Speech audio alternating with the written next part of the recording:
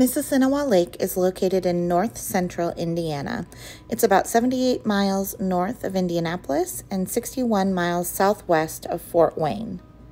The lake is surrounded by various state recreation areas, and that's one of the things we love about Mississinewa Lake is the entire lake is surrounded by these recreation areas, so there are no houses. It's all just nature when you're out on the water. The campground is located at the Miami State Recreation Area. The park offers a very well groomed beach, along with a boat ramp with lots of room for parking. They have archery, a disc golf course, and a large pond for fishing. Mississinewa Lake is one of the first state parks to offer seasonal campsites.